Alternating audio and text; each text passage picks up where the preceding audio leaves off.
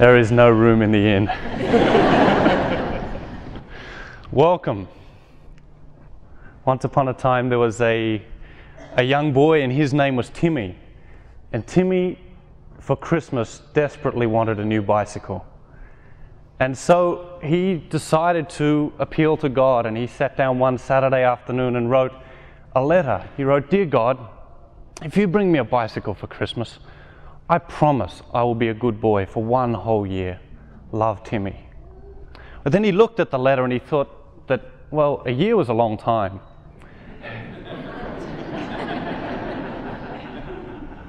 and he crumpled up that letter and he threw it in the trash. He began again, Dear God, if you bring me a bicycle for Christmas, I promise I'll be a good boy for six whole months. And he looked at that, he thought too much. He crumpled that up, threw that in the trash, began again, Dear God, if you bring me a bicycle for Christmas, I promise I will do the dishes every day for three months. And he looked at that and thought that maybe that was a little too much to ask too. So he gave up on his letter writing. Timmy quit. And the following Sunday, Timmy went to church. And as he walked into church that day, he looked up at the side altar and discovered a beautiful statue of Mary, the Mother of God. And he had seen the statue many, many times before, every Sunday, in fact. But on this Sunday, the statue touched Timmy in a special way. And so when church was finished, Timmy asked his parents if it was all right if he stayed behind in church. And Timmy lived on the same block as the church, so his parents agreed. And Timmy sat in the pew until everyone else had left the church. And then once everyone else had left the church, Timmy, he walked up to the front of the church and came before the statue of Mary. And looking up at Mary, Timmy smiled. And then turning around to make sure there was nobody else left in the church, Timmy reached up and he took the statue down. And then Timmy took the statue home. and then Timmy put the statue in his bedroom under his bed. And then Timmy wrote God another letter.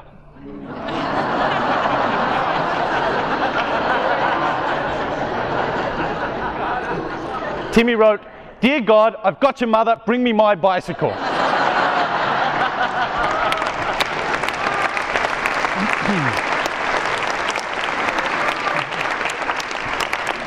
It wouldn't be much of a Christmas without your mother. Love Timmy.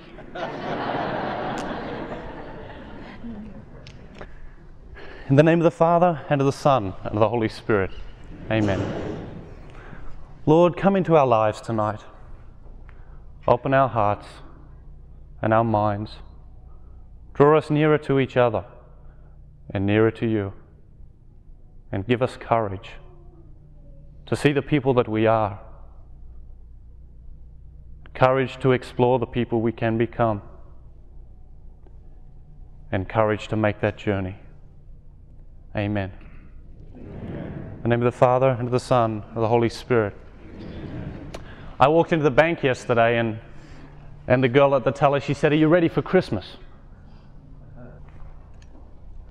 And I hesitated. I knew what she meant. Had I bought all the presents? Was the food ready? I put up the Christmas tree. Was the wreath on the door?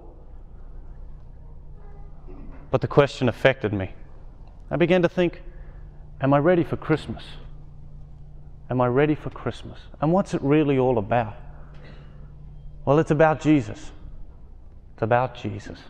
And as hard as our modern world has tried to extinguish the influence of Jesus Christ in our culture, they cannot. Because next Saturday, we're going to celebrate Christmas. I saw a Jewish scholar interviewed last week, and he said, because of Jesus Christ, the world will never again be the same. He said, Because of Jesus Christ, men and women will never again think the same. Because of this man who walked the earth 2,000 years, men and women will never live the same, will never be the same. And sometimes we lose sight of that, particularly in a turbulent cultural environment, an anti Christian environment, very often. We lose sight of that. We lose sight of the fact that the influence this one man has had on the world is unfathomable. Take all the books that have been written about Christ, all the pages and pages and pages, and put them together, all the paintings, all the art, all the sculptures, all the music, the influence Christ has had on the arts and on literature throughout the ages. And does it occur to us that prior to Christ walking the earth, there was never any such thing as a hospital? When he walked the earth, where were the sick people? They were on the sides of the roads, left out by relatives too scared to get sick themselves, left on the side of the road to die, to waste away. No hospitals before Christ came, no schools. No schools until the church introduced education for the masses. There's no such thing as education for the common man. Education was for the elite only. And then the church recognizes through the Gospels the dignity, the value of every single human being and introduces education for the masses. The impact Christ has had on history. And then I want you to add all of that up. I want you to add all of that up. And that is as nothing compared to the impact Christ can have on your life, on my life. The change that Christ can affect in your heart, in my heart. Christmas. It's not about the gifts. It's not about the food. It's about Christ. And why did he come? For his sake? No. To help himself? No. For our sake. To help us. To call us along this journey. How many people were here last time I was here? You remember I was able to move around up here. point A, point A, where we are right now. Point A, with all our faults, our failings, our flaws, our defects, our talents, our abilities, our potential. Point B, perfection. When we reach perfection, not perfection in a robotic sense, not perfection in the sense that we become the same, but perfection in the sense that at point B, I become perfectly who God created me to be. At point B, you become perfectly who God created you to be. Christ came that we might make this journey, this journey, this transformation from the people that we are to the better people that we know we can be. Close your eyes for a moment, just a minute. Everyone, close your eyes. Ask yourself one question In what one way can I become a better person today? Open your eyes. Does everyone know one way? Yes or yes? yes? Everyone has one way. How long did it take? Three seconds? That's the power of prayer. That's the power of Christ's transforming influence in our life, is to come to this place and to ask ourselves, in what one way can I become more like Jesus Christ today? And then to go out and live that. And that journey is why Christ came. That journey is what begins at Christmas, is God calling us along the path of salvation, along the journey of the soul. What stops us? The world, the culture. Because you go to the mall and there's music and there's sales and there's, I guess there's no sales at Christmas, is there? there's music and there's decorations and we're all in the spirit of Christmas. But what spirit of Christmas? The world spirit of Christmas? The commercial spirit of Christmas? Or the spirit of Christ, which begins, is born in Christmas? What stops us is the world, is the culture, is the culture. It's so difficult to be Christian out there. So difficult. I wasn't very gifted in science, but I learned one thing in science, and that was the idea of osmosis. What is more dense filters through the membrane to what is less dense. What is more dense filters through to what is less dense. And the reality is, is we are less dense because we do not prepare ourselves, we do not reflect, we do not meditate on the reality before us, we don't turn to prayer, we go out into the world, we are less dense, and what is more dense filters through and changes what is less dense. And we don't have that density. We need to take a good hard look at our culture. We need to have a good hard look at the world we live in and realize that some part of it is destroying us. That we have involved ourselves in a process of self destruction that is reaching monumental levels. What sort of world do we live in? We have taller buildings, but shorter tempers, wider freeways, but narrower viewpoints. We spend more, but have less. We buy more, but enjoy it less. We have bigger houses and smaller families, more conveniences, but less time. We have more degrees, but less common sense, more knowledge, but less judgment, more experts, but more problems, more medicine, but less wellness. We drink too much, smoke too much, spend too recklessly, laugh too little, drive too fast, get too angry too quickly, stay up too late, get up too tired, read too seldom, watch TV too much, and pray too little. We have multiplied our possessions but reduced our values. We talk too much, love too seldom, and lie too often. We've learned how to make a living but not a life. We've added years to life but not life to years. We've been all the way to the moon and back, but we have trouble crossing the street to meet the new neighbour. We've conquered outer space but not inner space. We've done larger things but not better things. We've cleaned up the air but polluted the soul. We've split the atom, but not our prejudice. We write more but learn less. We plan more but accomplish less. We've learned how to rush, but not to wait. We have higher incomes but lower morals, more food but less appeasement, more acquaintances but fewer friends. We build more computers to hold more information, to produce more copies than ever, but have less communication. We've become long on quantity, short on quality. These are the times of fast foods and slow digestion, tall men and short character, steep profits and shallow relationships. These are the times of world peace but domestic warfare, more leisure and less fun, more kinds of foods and less nutrition. These are the days of two incomes but more divorce, of fancier houses but broken homes. These are the days of quick trips, disposable diapers, overweight bodies, throwaway morality, one night stands, and pills that do everything from quiet to cheer to kill.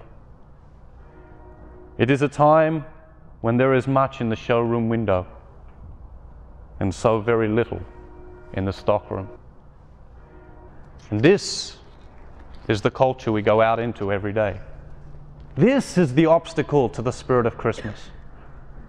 And God gently calling us, beckoning us to come beyond the shopping and the food, the travel, to come beyond, to go deeper, and to discover the real meaning of Christmas, to draw nearer to the Lord.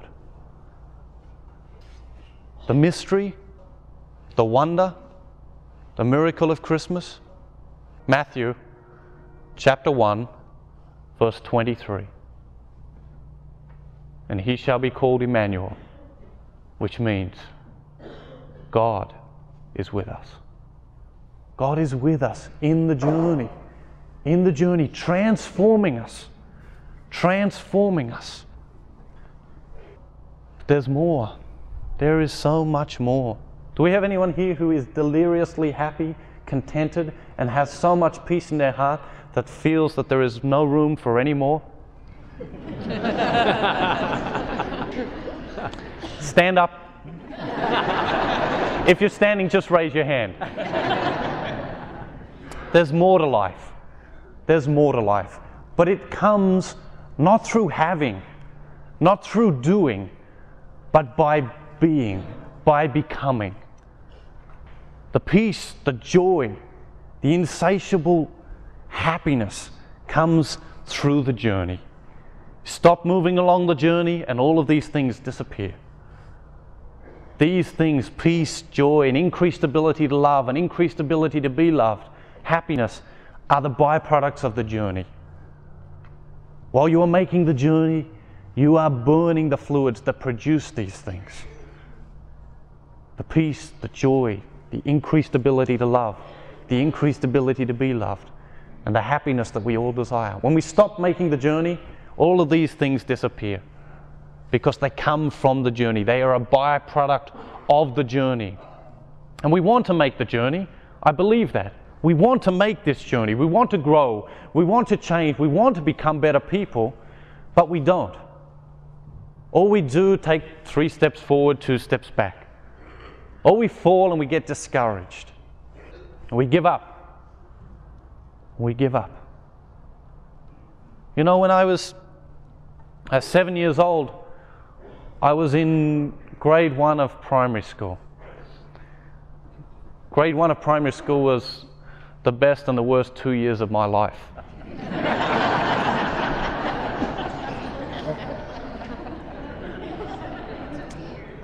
and I know many of you have heard the story or read the story in one of my books. And the book story is about, you know, on Friday afternoons, Bell used to go, everyone was happy and excited. I'd go to the school gate, I'd meet my brothers, and they were happy, excited because the weekend had come. I was miserable every week, Friday after Friday, because I love school now. Because on Friday afternoons we used to have our spelling test. And I always used to fail. And I remember one Friday afternoon, the school bell went, everyone rushed out of class, ran towards the school gates. I gathered my things together slowly, I packed my school bag, and then I dragged my school bag slowly towards the school gate where I found four of my brothers, once again, very happy and excited because School week had finished and a weekend had come around. But this Friday afternoon, I was particularly sad. And I remember my mother coming to get us as she always used to. And she, she parked the car down the street and then she would walk up to the gate and gather us together and then walk us down to the car. And as we got to the car that day, she took our bags from us and she threw them in the back of the car. And one by one, we got in to the back of the car. And I, I remember getting into the car that day and bursting into tears. And my brothers, my brothers, they looked at me, wondering what was wrong, what had happened. And then my mother got into the car and she saw me crying. And she said, What's wrong? And I explained to her that, you know, I had failed my spelling test again and that the kids had been making fun of me. And I remember my mother taking me home and holding me in her arms and saying, Everything is going to be all right. She said to me, We'll practice your spelling and you'll get better. And then she said to me, How many did you get in your spelling test today? And I said, Six out of 20.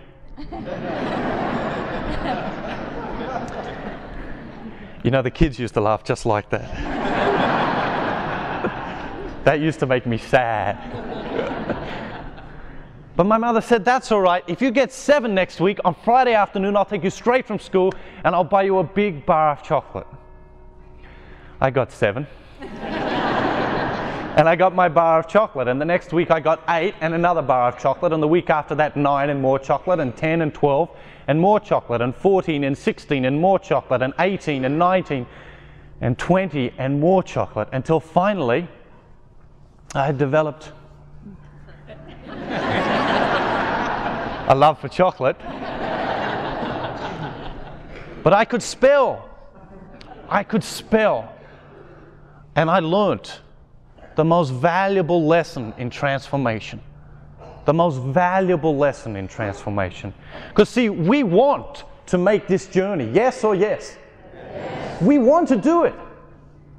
But I discovered that people don't fail because they want to fail. People fail because they don't know how to succeed. We don't not make this journey because we don't want to make the journey. We don't make this journey because we don't know enough about the journey. Can anyone here run a marathon? No? Very good. We have, we have a taker down here. But the rest of you can't. and that's really what I want to talk about.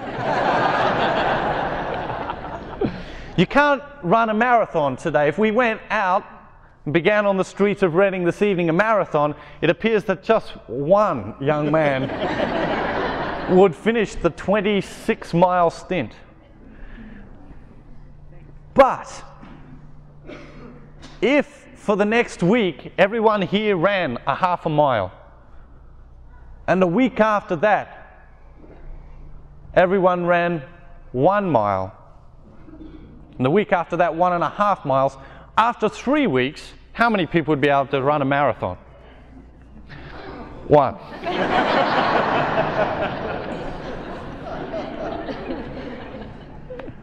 what about if we tried really, really hard? One. What about if we tried with all of our might to run a marathon? How many people would be able to? One. Because you see, transformation is not just about trying, it's about training. Transformation is not just about trying, it's about training. You want to be a business leader? What do you do? You go to business school, you train to become a business leader, and then you go out and you get employed by some person who pays you to learn all the mistakes necessary to become a business leader. but you train in the process. You want to become an attorney. so much opportunity there but we're in church. you want to become an attorney? What do you do? You go to law school, train to become an attorney. Want to become a school teacher? You go to college, learn to be a school teacher, a doctor, a nurse. Everything we do in our lives, we train. Want to learn to become a great tennis player? What do we do? We train to become a great tennis. Football, train. Golf, train. Take lessons, practice, train. Want to become a Christian? We just show up to church on Sunday. And that, my friends, is where there is something very serious missing in the equation. Lots of trying and very, very little training. You show up for the game on the weekend and you haven't practiced, how are you going to perform? Not well. And so, this process, this transformation, this journey, not just about trying, it's about training. If all of us, we went out and we ran half a mile, increasing by half a mile, five days a week, every week, after a year, how many people would be able to run a marathon? Probably quite a number of us. Not all of us, no. But everyone here would be able to run further than they are able to run tonight. Further and faster. Because the human being has a natural capacity to increase its abilities physically, emotionally, intellectually, and spiritually. Run faster physically, love more, love more deeply emotionally.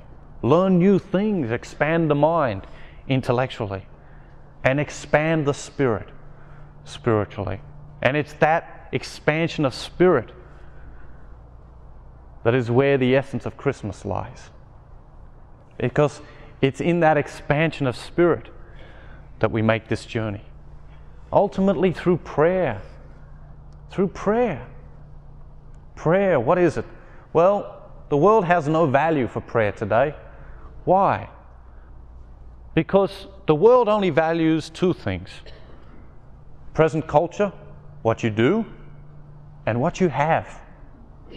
And when you sit down in a quiet place and close your eyes and commune with God, open yourself up to God, you don't increase what you have and you appear to be doing nothing. And so the world believes this is a waste of time, has no value. So we don't pray. We fall for the greatest lie in history. We turn our backs on prayer and enter into the chaos and complexities of the modern world where our very self is swallowed up. So much so that most people on the planet don't even know who they are, don't even know what they're here for, don't have a sense of mission or purpose in their lives, don't know what they want to achieve.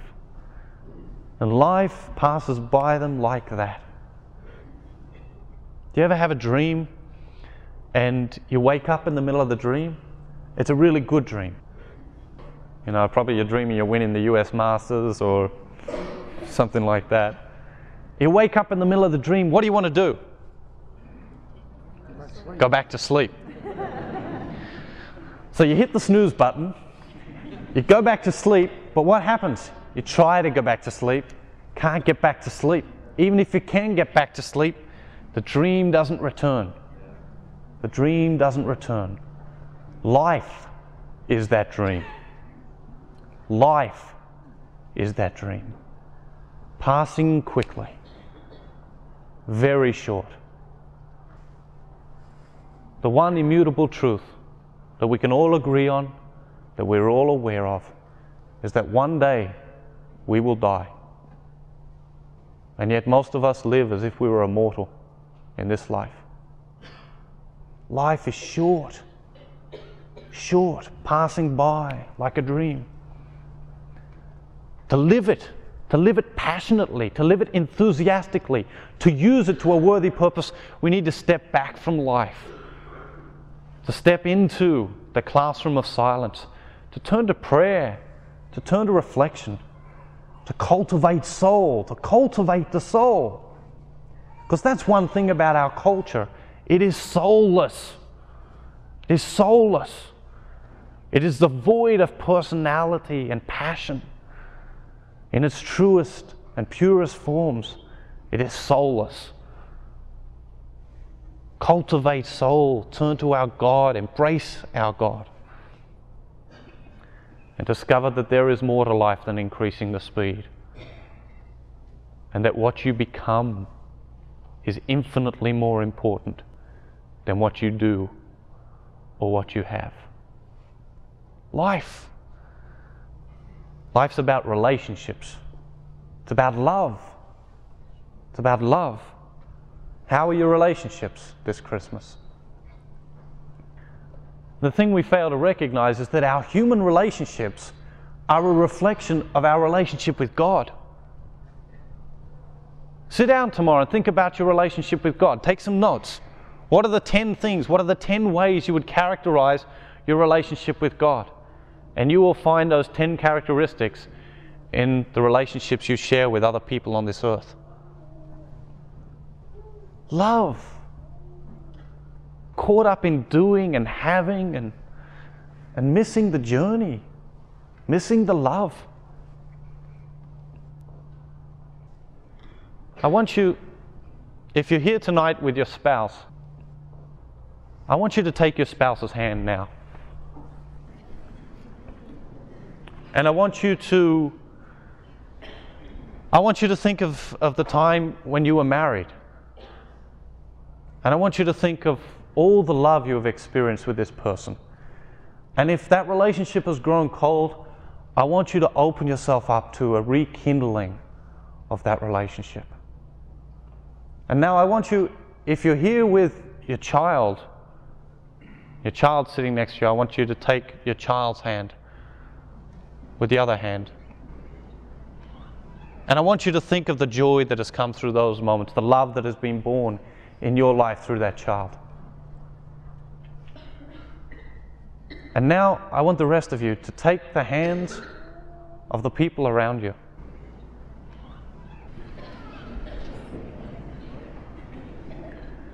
And to, to feel that person next to you.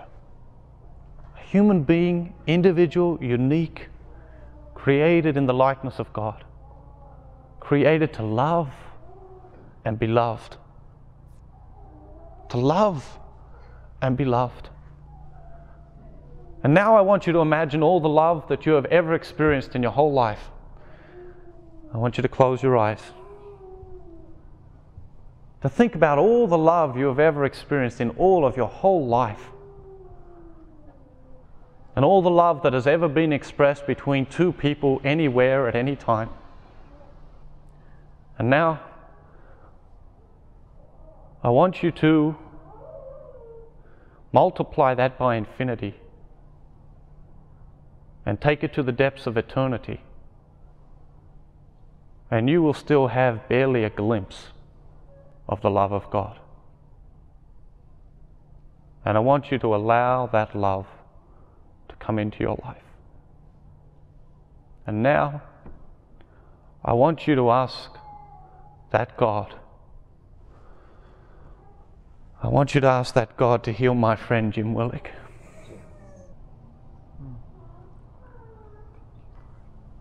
Life, my friends, life is love.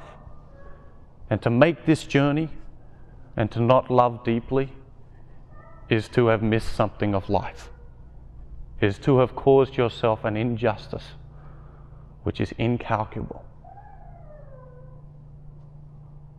This Christmas, discover the love, fall in love again with yourself, with your spouse, with your children, with your God, and with life. Make this journey. Make this journey. It's a difficult journey. And you know, I've been thinking a lot lately about I've been thinking a lot lately about what Jim's going through. And I've been thinking a lot about life and what's it all about? And how do you live it? And how do you live it not just survive, but how do you thrive? How do you thrive in this journey? How do you thrive in this time we have? And I discovered that, you know, whatever it is, whether it's whether it's crossing the room to, you know, ask a girl out on a date, or whether it's forgiving someone who has hurt you, or whether it's opening yourself up to rekindling a love that has grown cold, or whether it's starting a business or excelling in sports, or looking yourself in the mirror physically and spiritually, opening yourself up to God. You need this. You need courage. You need courage to do anything in life. The most common characteristic of our age is not courage, but fear. Fear. And fear paralyzes the human being that wants to strive, wants to thrive, which wants to increase, which wants to go forth and excel passionately and enthusiastically. Fear stifles all of that. And what builds this fear in us? Well, ultimately, fear of losing, fear of failing. Largest business in the world today is what? Anybody? Uh, industry. Largest industry in the world today is anybody? Insurance. Based on what human emotion? Fear of losing what we have worked for. Fear of losing what we have. And while we foster that fear, we lose something much more valuable than what we have. We lose who we are. We surrender self, become a clone of the modern world. Yes, we do more than we've ever done in any other age as a human race. We have more than we've ever had in any other age, abundantly. But who are we? What sort of people are we becoming? Taller men with shorter characters. God calls us into the classroom of silence, to prayer, to fill us with courage, fill us with courage to go out and follow our hearts, to follow His call, through the deepest desires of our hearts, through our dreams. And it takes courage. The face of criticism. People want to put us down. People want to say, no, don't do that. Go back and keep the safe spot in the journey. And we convince ourselves that we can sit over here, build a little white fence with a little, little white house with a little white picket fence around it, and we tell ourselves that we can be happy there forever. Spiritually. We can't be. Human spirit thrives on the journey, changing, growing, developing, becoming the better person we know we can be. But it takes courage. It takes courage. If I told you one year from today, you will die, what would you do with the next year of your life? Do those things. Go home tonight, make a list, and do those things. And at the top of the list, draw nearer to the Lord. Draw nearer. It's life. It's about holiness. It's about imitation of Christ. It's about becoming more like Jesus Christ. For His sake, no. To help Him, no. To make Him happy, no. For our sake, to help us, to bring us the happiness that we desire more than anything else in the whole world. Wouldn't you like to work for someone like Jesus? Would that be nice? Yes or yes? Would you like to be married to someone like Jesus? Would you like to date someone like Jesus? Now, if you're married,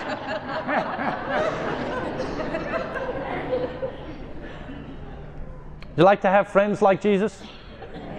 Like to spend your time with people like this, yeah? Why? Because there's something that just attracts us to that holiness. You know, I've said it over and over and over again, and you're sick to death of hearing it, but there is nothing more attractive than holiness.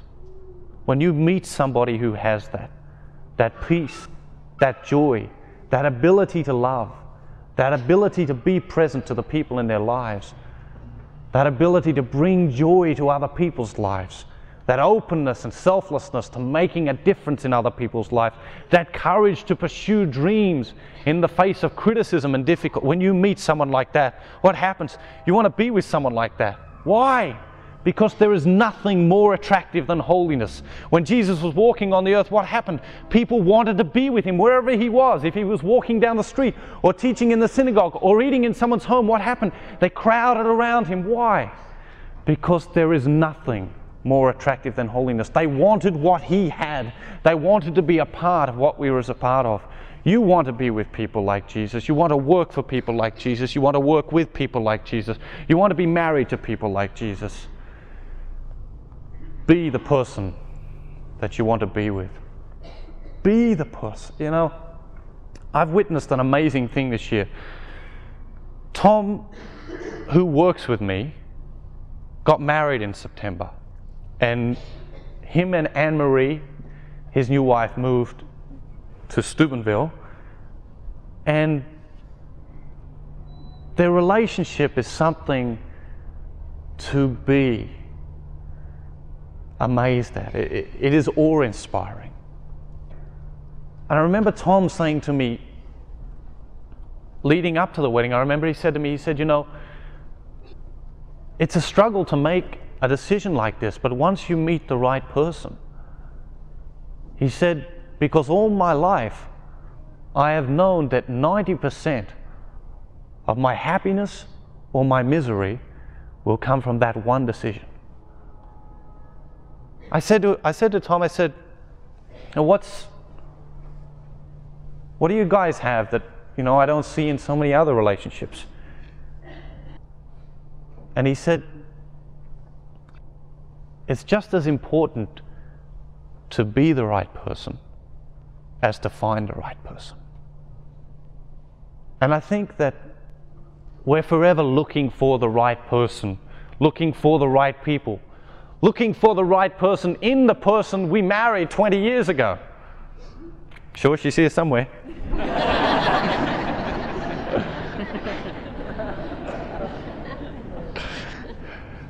looking for, and we spend so little energy being the right person, becoming the right person, entering into the classroom of silence and taking off layer upon layer of self importance and ego and recognizing that we have faults and failings to work on. Because what makes a dynamic, enriching, enthusiastic, passionate relationship? Two people making this journey. Two people dedicated to the journey, dedicated to becoming. Most of the rest of the world is dedicated to doing and having. And they apply these principles to relationships. It's about becoming about the journey, it's about transformation. Don't just try. I know you're trying really hard. Don't just try. Train. How? Come to prayer every morning. What one way can I make my spouse's day today? In what one way can I make my girlfriend's day today? In what one way can I make my boyfriend's day today? What one way? Make that person's day every day by becoming the better person. Yeah, flowers are great. Do that often. Chocolates are wonderful. Do that more often. but all of that is the overflow. Is the overflow. And you know what we lose? We lose in relationships today. Well, see, the modern world believes that everything should be understood. No room for religion because, hey, it's a mystery. Can't understand it all. It's a mystery. So, everything has to be understood. Anything that's valid must be able to be understood. Relationships. Key to relationships in the modern world's view understanding. Got to understand the other person. It's a myth. It's unrealistic. Never happens. My mother told me the secret to relationships when I was very young. She said, Matthew, he said, you'll save yourself a lot of heartache if you don't think that the key to relationships is understanding women. she said, Women are not to be understood.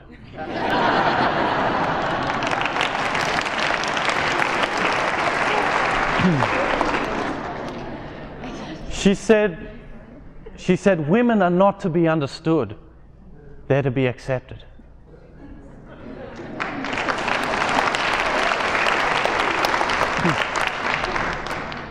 and the reverse is also true. The key to relationships is not understanding people. Oh, yeah, I think that maybe, yeah, I'm going to fall in love with you, but I got to understand you before I can. Never. It's acceptance. It's accepting that this person is at a point A faults, failings, flaws, defects, talents, abilities, potential. It's accepting that the person is broken, that the person has inner conflicts, inner tensions has inconsistencies, and that the person is making a journey. It's accepting the person in that journey, it's nurturing the person in that journey. It's not understanding everything about the person before you can give yourself, before you can nurture that, that person in the journey. To love is to accept. Is to accept. Prayer is the training in relationships. Prayer is the training in relationship in our relationship with God. Yes, in this journey, coming to prayer, classroom of silence, developing one way each day we can grow to become more like Jesus, the better person we know we can be. Going out and dedicating ourselves to that transformation, transforming our relationships, coming to the classroom of silence, entering into prayer, asking ourselves, in what one way can I make this relationship better today? What one way can I make my spouse's day today? And transforming the relationships, not just trying, training. And you know, if you go out and you run three miles today and one mile tomorrow and four miles next week and three weeks off, four trips to McDonald's every day and two miles the week after that and one mile here and one mile, you won't run a marathon. You won't compete at any high level. You will not excel. You will not achieve in the upper realms. Consistent, consistent training produces results. Don't just try, train. Go home and write up the training program spiritually. What's it going to be? I know some of you were at, at Nativity earlier in the year, and I spoke there about what transformed my life? What brings me here right now before you tonight? When I was 19, God touched my life in a special way. I had a special experience. That touched my life, yes. Did it transform me? No, it didn't. But what happened was that through that, I began to stop by my church every Sunday, no, every day, for 10 minutes a day. I used to sit up the back, second last pew, and I used to plan my day. Think about what I'm going to do today and plan my day. And after about two weeks, I worked out that this wasn't prayer. And I decided that, you know, I wasn't doing anyone justice or helping anyone by sitting back. What was I even in a church for? To plan my day. And then I began to pray. And then my life began to change. I began to look up to the Lord and say, God, you know what? I got these things happening in my life. I've got this problem. This is the situation. These are the circumstances. What do you think I should do? And then my life really began to change. When was the last time? When was the last time you sat down here, looked up to the Lord, and said, What do you think I should do, Lord?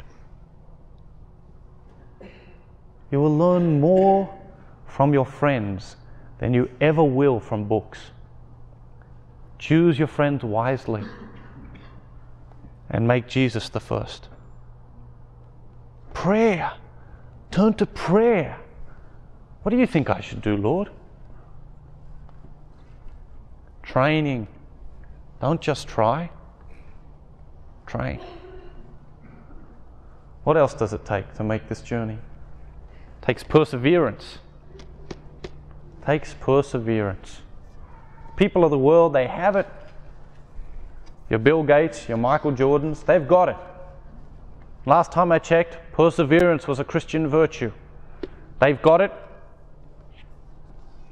and we ain't. It's not very good English, is it? Abraham Lincoln, do you know who he is? How's this for a story of perseverance? Lincoln was born into poverty in 1809 in Illinois, and throughout his whole life, he continually faced failure and defeat and crisis and criticism, but he pushed on. He twice failed in business, he lost eight elections, and he suffered a total nervous breakdown at one point. Defeat and failure were always beckoning Lincoln to give up, to quit, to take a place in the backward corners, a quiet place to live the safe and secure life. But he was called to something more. This is a sketch of Abraham Lincoln's life.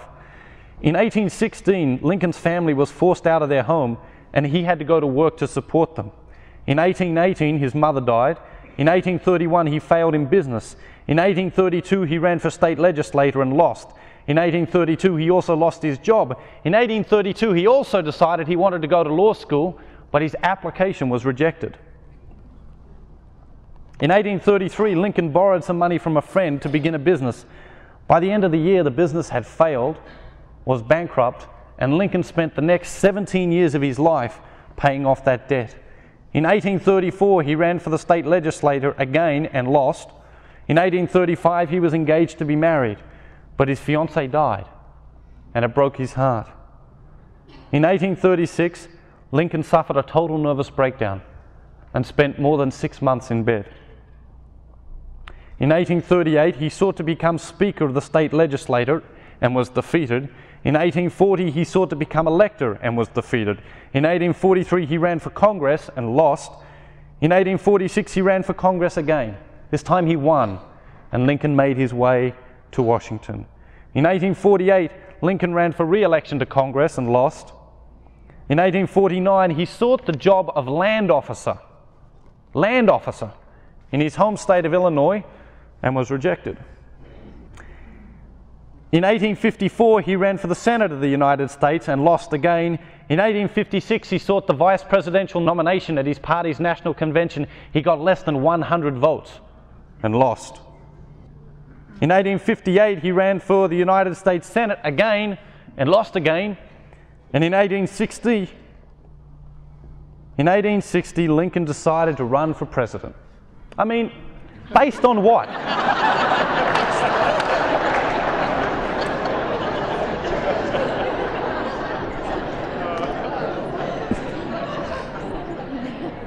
Track record. He won. He won. And this is what he said. He said, The path was worn and slippery. My foot slipped from under me knocking the other foot out of the way. But I recovered, and I said to myself, It's a slip, not a fall. It's a slip, not a fall. Make the journey. Come to this place. Point A, enter into prayer. Come into the classroom of silence. 10 minutes a day. 10 minutes a day. And I promise you, your life will change. Open yourself up to God's workings in your life. Open yourself up to the man who has formed and changed history forever. Open yourself up to Jesus, who is mentor, who is guide, who is teacher, who is friend, who is savior. Because despite the influence he's had on history, this influence is nothing compared to what he wants to do in your life. Nothing. He wants to bring you peace. He wants to bring you peace. And that, my friends, is the gift of Christmas. To have that peace that runs deep, that is born in silence from a connection with God. To have that peace. And when you look into people's eyes, they will know that you are different.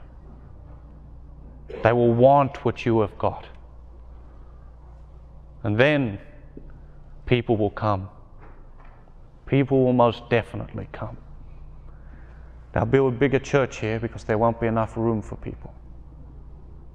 They'll want what we have got. They'll want to be a part of the enthusiasm and the passion that we have for life. When we have that attraction, we become Christian. We become worthy advertisements for Christ in the world. We know that He is our friend. Are we His? are we His? To come into the classroom and to, to recognize the priorities, to recognize the priorities are amiss in our lives. Doesn't matter how much we have, doesn't matter what we do. There's more important things. It doesn't interest me what you do for a living. I don't want to know. I want to know what you ache for. And if you dare to dream of meeting your heart's longing, it doesn't interest me how old you are. I want to know if you will risk looking like a fool for love, for your dreams, for the adventure of being alive. It doesn't interest me what planets are squaring your moon. I want to know if you have touched the center of your own sorrow. If you have been opened by life's betrayals, or have become shriveled and closed for fear of further pain, I want to know if you can sit with pain, mine or your own, without moving to hide it or fade it or fix it. I want to know if you can be with joy, mine or your own. If you can dance with wildness and let the ecstasy of life fill you to the tips of your fingers and toes without cautioning us to be careful, to be realistic, or to remember the limitations of being a human being. It doesn't interest me if the story you are telling me is true or not. I want to know if you can disappoint another person to be true to yourself. If you can bear the accusation of betrayal and not betray your own soul. I want to know if you can be faithful and therefore be trustworthy. I want to know if, if you can see the beauty even when it's not pretty every day. And if in that beauty you can source your life from its presence. I want to know if you can live with failure, yours and mine, and still stand on the edge of the lake and shout to the silver of a full moon. It doesn't interest me to know where you live or how much money you have. I want to know if you can get up after a night of grief and despair, weary and bruised to the bone, and do what needs to be done for the children. It doesn't interest me who you are or how you came to be here. I want to know if you will stand in the center of the fire with me and not shrink back. It doesn't interest me where you studied or what you studied or with whom you have studied. I want to know what sustains you from the inside when everything else falls away. I want to know if you can be alone with yourself and if you truly like the company you keep in those empty moments. Peace. To come to this place and to find a peace that brings priority and perspective to life. Because then we begin to look beyond ourselves and discover that this Christmas, a lot of people out there who will be lonely, who will be hungry, people who are broken-hearted, people who have lost loved ones this year, and Christmas will never again be the same. People who are hurting in places so deep within them that we hardly have a chance to reach that deep, but who desperately need us to try. The power of Christianity, making a difference in the world. Don't forget to this Christmas. Visit the lonely, feed the hungry, make a difference. Make a difference. Be the difference that makes the difference. Because the good we do doesn't die in a single action. The good we do lives on forever in other people, in other places, in other times. The good we do never dies. It's contagious and growing. You walk down the street, you smile at a person, what do they do back? They smile back. You walk down the street, you smile at a person, they give you a stone face. But you walk down the same street the next day, you see the same person, you smile at the person, what do they do? Smile back. You caught them unawares the day before.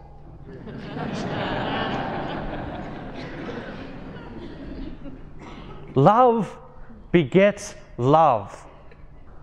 Love demands a response, and love decides the response. Because love begets love. So easy. So easy to make a difference in this world of ours.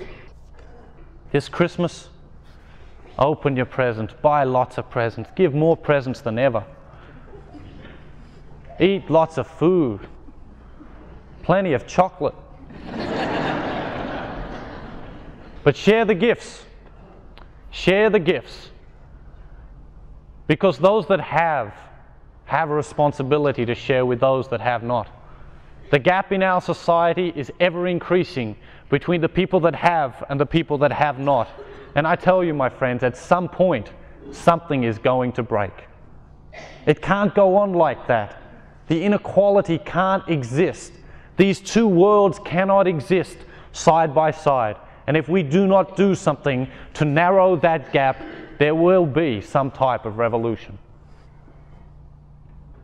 It is natural, it is inevitable. History teaches us time and time and time again. This Christmas, visit the lonely, visit the sick, visit the poor, share what you have. But next year, next year, make resolution to narrow that economic gap that exists in our society. We cannot ignore it as Christians. We cannot ignore it. In every age, in every place, there are always going to be some that have more than others. The responsibility and the burden falls upon the shoulders of those men and women to share the gifts. It falls upon our shoulders to share our gifts time, treasure, and talent. Christmas. New Year's resolutions. Anyone got any yet? I know it's really early. Does anyone have New Year's resolutions? Yes? No? Yes. No? Yes? no one has New Year's resolution. Excellent. You'll be open to the one I wish to propose. On the first day, God began his creation. On the sixth day, he finished. What did he do on the seventh day? Rested. Why did he rest on the seventh day? Because he was tired? No. Because he knew we would be tired. Because he knew we would be tired. Everything in creation has rhythm. The tides come in and go out to a rhythm. The way a plant grows around the process of photosynthesis is based on a rhythm. The way your heart beats, pumping the lifeblood around your body, is based on a rhythm. The way the stars and the moon and the planets move is based on a rhythm. Everything in creation has rhythm. When an element of creation maintains its rhythm, it maintains optimum health. When it loses the rhythm, it creates chaos. And we have lost the rhythm of life. We've become too busy. We've become too busy. We do too many things. Don't you feel that if you weren't so busy, you could be happier? Don't you feel that if you weren't so busy, you could have more peace in your life? Don't you feel that if you weren't so busy, you could feel more fulfilled? Get more of the things done that really important? Don't you feel that if you weren't so busy, you could maybe even be a better person? Don't you feel like sometimes you just need a day off? Yeah, God thought of it first. He called it Sunday. He called it Sunday. Take Sundays off. Learn to say no. Learn to say no. Learn to say, this is time for me and my family to nurture ourselves physically, emotionally, intellectually, and spiritually. Go on a picnic. Take a long walk in a quiet place. Go to church. Read a book. You know, look up, look up one of those books you studied your last year in high school. Look up one of those books you studied your last year in high school and read it again and discover how much you've changed in the last 10 years.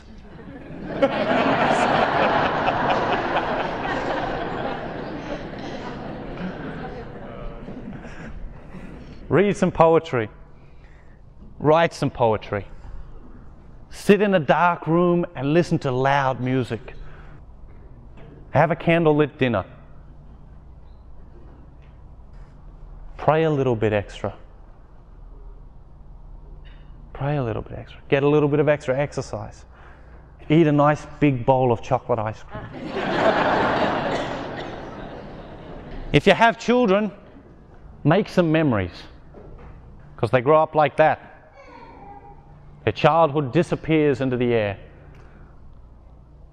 Fall in love again with life.